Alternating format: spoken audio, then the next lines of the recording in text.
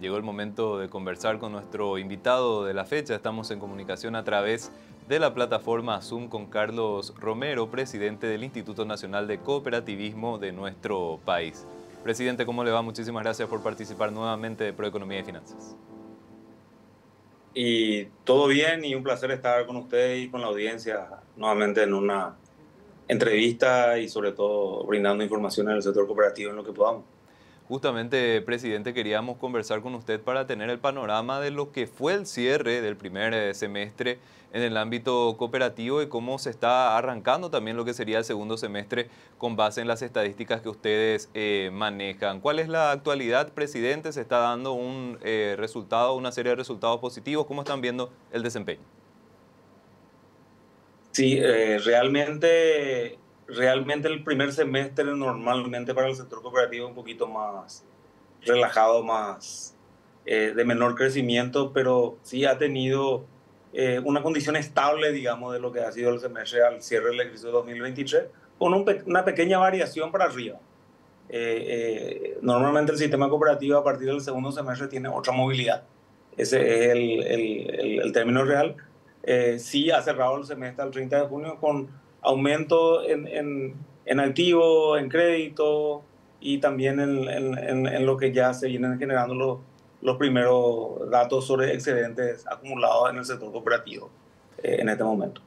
En líneas generales, eh, presidente, manejan algunos números de lo que sería justamente ese cierre, menciona el crecimiento de activos, también eh, los excedentes que están teniendo algunas cuestiones positivas, algunos números en general que se pueda compartir con la audiencia. Y tenemos un activo total en este momento de 48,5 eh, billones de, guaraníes, equivalente a 6.450 eh, millones de dólares más o menos el activo total del sistema cooperativo de, ahorros, cooperativas de ahorro y crédito y cooperativas de producción. Eh, hablamos de 28 mil 28 mil y monedas de billones de guaraníes en la cartera de crédito. Eso equivale a 3.754 millones de, de, dólares del sector cooperativo destinado en crédito. 23,6 eh, billones de guaraníes en ahorros equivale a 3.100 millones de dólares aproximadamente y un crecimiento del capital a 7,4 capital eh, eh, o aportes de 7,4 billones de guaraníes, equivalente a 900, casi mil millones de guaraníes, eh, casi mil millones de dólares, perdón. Y tenemos acumulado, según los reportes de las diversas entidades, un monto de 561.719 billones, millones de guaraníes, equivalente a 75 millones de guaraníes en el, en el sector cooperativo de excedente al cierre del 30 de junio. Presidente, viendo puntualmente lo que serían los créditos, eh, ¿cuáles son los principales sectores eh, que son atendidos con los créditos desde el sector eh, cooperativo y cómo están viendo lo que sería justamente esa evolución de los préstamos por parte de las entidades del sistema cooperativo? Principalmente los créditos conforme al, a lo establecido en el, plan de cuenta, la declaración de la cooperativa va, va sobre el crédito de consumo pero no hay que eh, también que el, el, un volumen importante va al sistema de, de pymes y, mi, y mi pymes, que equivalen a aproximadamente 350 millones de, de dólares, eh, van al, al sector eh, pymes y mi pymes que están disgregados de la cosa. Después hay una diversidad, eh, hay un porcentaje alto de, de compra de vehículos, hay un porcentaje alto de, también de viviendas realmente está dentro de la norma general del crecimiento, no ha sido un crecimiento eh, grande, sino que ha sido un, crecimiento vegetativo en relación a la composición de la, eh, de la masa secretaria de las cooperativas. Es lo que se ha desenvolvido en el, principalmente en el, en el, en el primer semestre. Si se nota un, un, aumento en el, hablábamos que el 17%, eh, 17.6 a 7% estaba del, de, de, lo que es el sistema financiero paraguayo comparado con cooperativas, cooperativa, bancos y financieras lo ocupaban las la cooperativas y aproximadamente el, el 2%, el 0,2% es lo que varió en este semestre en relación al cierre del, del, del, ejercicio 2023. Entonces, eh, ha habido un crecimiento, no ha sido excesivo, pero eh, eh, seguimos creciendo y en relación a, a, la situación y también eso implica una, un crecimiento del sistema financiero. Presidente, ¿cómo está el sistema cooperativo manejándose con las tasas de interés? El Banco Central del Paraguay estuvo reduciendo eh, meses atrás su tasa de referencia, esto se extendió a gran parte del sistema financiero, si bien eh, el BCP ya estuvo eh, estableciendo una pausa en ese ciclo de recortes de tasas de interés, en muchos segmentos todavía se estaban notando reducciones de tasas. ¿Qué está ocurriendo puntualmente en el sector cooperativo, presidente? Y no estamos ajenos a lo que es el, la política financiera paraguaya del, SP. Entonces, el, el, sistema en sí viene una, con una disminución de tasas. Eh, eh, base primeramente del, al bajar la tasa de, eh, del BCP, la tendencia también que todo el sistema baje. el sistema cooperativo no está ajeno. sí quedan, van quedando y también quedan en el sistema financiero probablemente las tasas comprometidas o aceptadas en tiempos anteriores. Y en ese sentido, las cooperativas eh, vienen reduciendo también eh, las tasas de, sobre todo en el tema de ahorro y ahorros a plazo, donde, donde la política monetaria es lo que te da la, situación. No, eh, no puede salir con créditos más caros del sistema, porque de lo contrario no va a ser competitivo. Entonces, esa es la, la misma adaptación que viene llevando el sistema cooperativo. Viene bajando sus tasas conforme a lo vienen haciendo todas las entidades financieras en en el Paraguay también. Y justamente hablando de la parte de ahorros, eh, presidente, ¿nos puede explicar un poquitito cuál es la composición del ahorro cuando hablamos del sistema cooperativo? Estamos hablando de ahorros que son de más corto plazo, hay ahorros a más largo plazo. ¿Cómo están viendo también el desempeño de esto y qué se puede hacer para ir estableciendo mejores estructuras en cuanto al ahorro para el sistema cooperativo?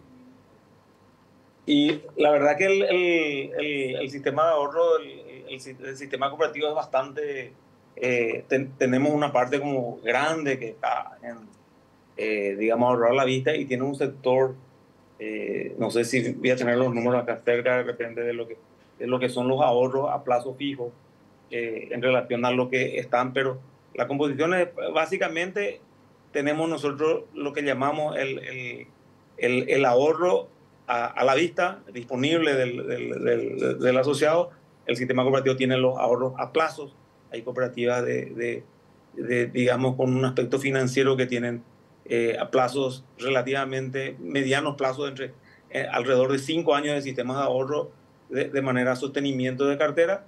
Y también eh, muy común en el sistema cooperativo y son las ruedas solidarias, en el sentido que son sistemas de, de ahorro acordado por plazo, por montos relativamente mínimos que son devueltos al, al final. Es como si fuera una capitalización mensual que va haciendo con un sistema de incentivo, ¿verdad? Que ese es lo que maneja el sector cooperativo.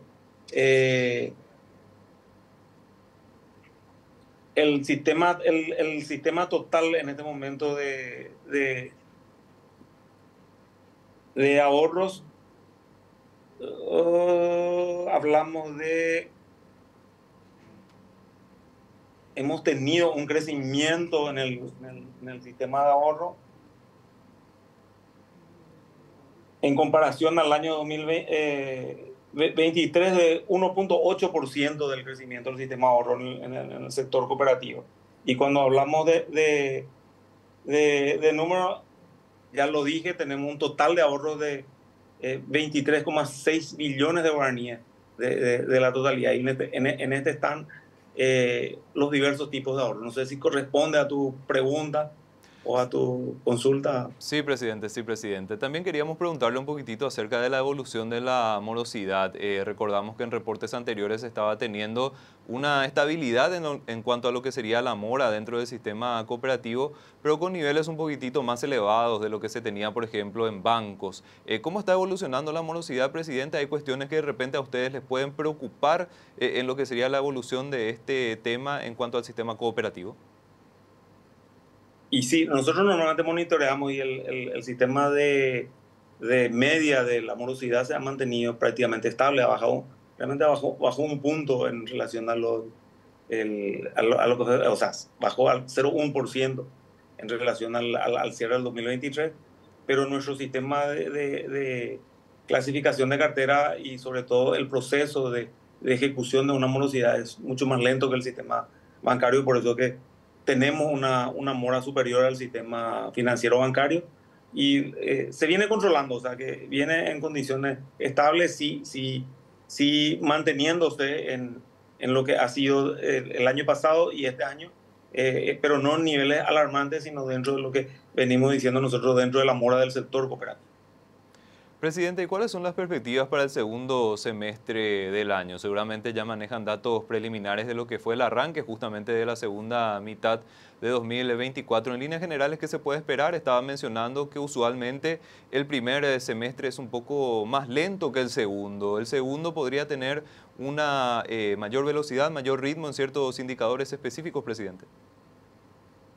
Y normalmente en la segunda parte del año eh, las cooperativas de ahorro y crédito tienen un un movimiento diferente en relación al, al movimiento de la expectativa que genera el, la mitad del año para arriba.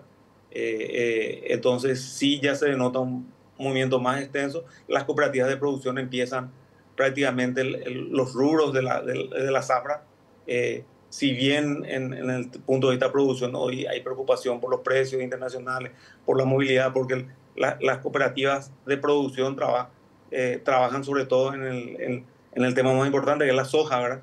Y la ganadería que también son financiadas por el sistema cooperativo y que hoy se ven un poco preocupadas por el tema del, de los precios, sobre todo internos en relación a los precios internacionales.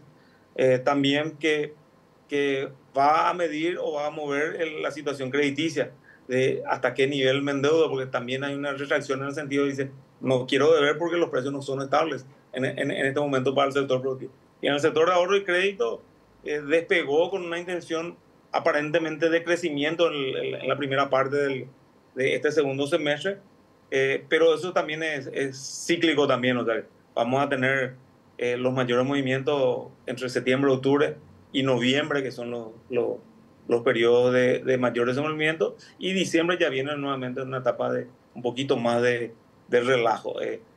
cabe, cabe destacar que las campañas agrícolas de de, los productos tradicionales o de, o de verano en Paraguay se, lanzan en septiembre.